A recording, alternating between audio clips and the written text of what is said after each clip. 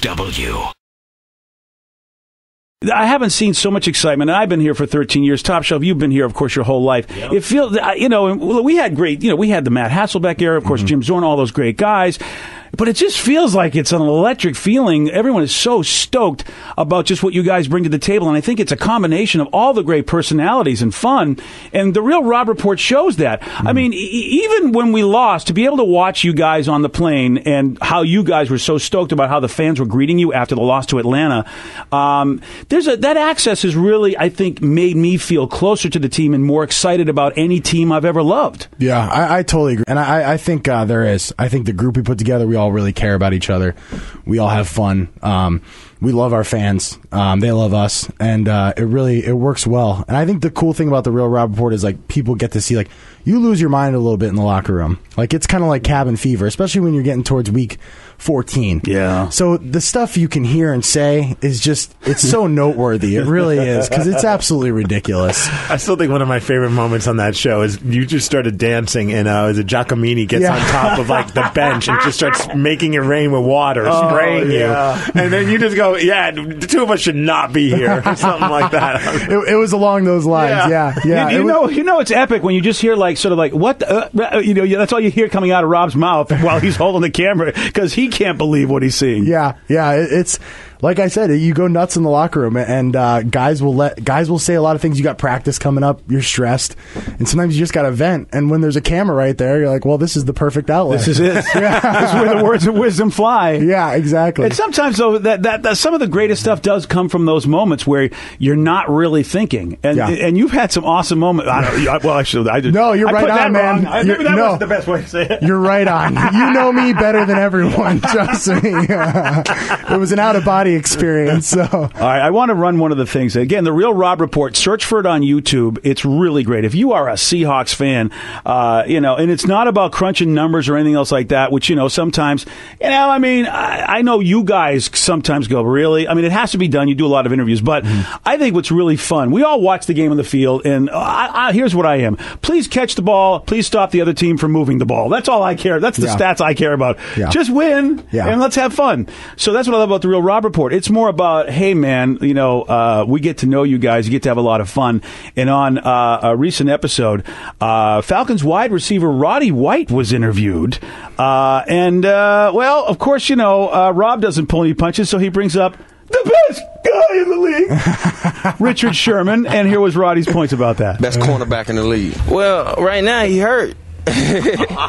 You know, Darrell right now is, is the best corner in the league. You ain't gonna give my boy no love? I can't give him no love. Why not? I mean, he, he, he the, the, the numbers do speak for themselves. I mean, you can't say this man ain't had a good ain't have a good past two years. I mean, I didn't. I mean, we went down to Seattle two years ago, and he wasn't even on the field when we was out there. So it's kind of hard for me to just put him, throw him in the best cornerback, you know, situation. You seen him on film though. That's the thing, though. I watch him on film, and he don't jump off. It's it's nothing that jumps off about him. Oh, you know that. I'd be like, oh, I'm gonna lose sleep. You know, getting ready for this guy. He's a good player. You know what I'm saying? But he's not somebody that I wake up and be like, I got to run some extra routes, so I got to do some extra things that you know to get ready to play against him. You know. Whew. Uh, okay. I gotta say, first off, I am Okay. I am the biggest fan of Richard Sherman. I endorse everything he does, and that people just can't take that Sherman talks and then backs it up so consistently. That's the truth. and he's charming. You know, that's the thing. Love Sherman. Yeah, for a for a smash talker like he is, but he's got a little wink in his eye. Yeah. He's got a little smile on his face, and people do not like that because when do you ever?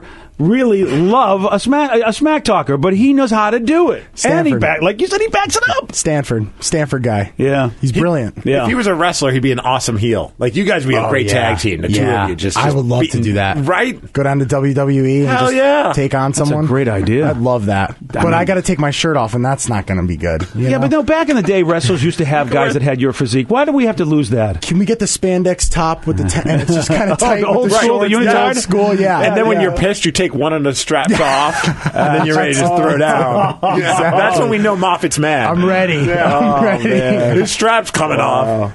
You know, the one thing about you, because you, you, that you say you don't do a lot of thinking when you do these, but I never heard you go down the road of Mr. White. Now, granted, he's a wide receiver. All right, they're supposed to hate. See, I get it. They're supposed Mm-hmm. Yeah. to hate the cornerback. All right, Yeah. fine. But still, all right. I mean, you want to? All right. Yeah. I mean, I'm. I, you just never win that war with a guy like Sherman. I wouldn't start. No, neither would I. He does. He doesn't care. Um, I won't be surprised when we play Atlanta next year. That'll be the first thing he talks about. That'll be great. It'll be great. What were Yeah. you, I'm sure you watched that episode where him when, when he went off on Skip Bayless, and you must have oh, been like when, he, when, when he just out and out just goes, "I'm better at life than Yes. you." I, I couldn't stop laughing. He, he really digressed there. He, he took it back. He made all these brilliant points and then just gave the fourth guard, fourth grade like schoolyard. I'm better than you. Dude, it was great though, and I, I said this on here. Please pass it along when you see him. He beat Bayless at his own game. Mm-hmm. You know, I got to tell you something, and I'm in this business. You cannot let someone who's not in your business full time, Malcolm Gladwell, ten thousand hour style. You can't let someone come beat you in your own game. No. I'm looking at Bayless going, dude, you got schooled by a guy who isn't doing this for a living. Yeah. You know, if you're on the football field and you got to try to catch a pass and Sherman schools you, well, of course he's the guy. Yeah, yeah. But you're the broadcaster. How did you just get your ass handed to you by a guy who's not in the business? It's it, it, That's the embarrassing thing. I would be like, okay, I got to tell you, I, I got schooled. he's brilliant, man. And you know what? Skip Bayless is about time because that guy has talked so much junk about so many players. Yeah. And players are so handcuffed. You know, you're, God forbid you say anything, but Skip Bayless can come out and say whatever he wants. So it was refreshing to see Sherman, you know, say something to the. Yeah, well, you got to be able to handle yourself in a fight. See, it's one thing if you can just yap and flap like Bayless, but Yeah. no one ever comes at you. Yeah. But a guy like me goes, someday someone's going to have a counterpoint. I got to be ready. Yeah. Bayless was not. No, he was not. And I mean, I, I I got a lot of love for Richard Sherman because he just exposed to me a guy who's a bit of a fraud, and I'll say it in my business because I have uh, I have it backed up. Uh, Bayless looked like a fool. Yeah. he looked like a fool, and how you look like a fool being a professional broadcaster. Wow, that you, you don't do any work. You don't school. You don't discipline, and you guys work your asses off. So when you're facing a guy that doesn't, and you can tell, I bet I bet Sherman was like Richard was like.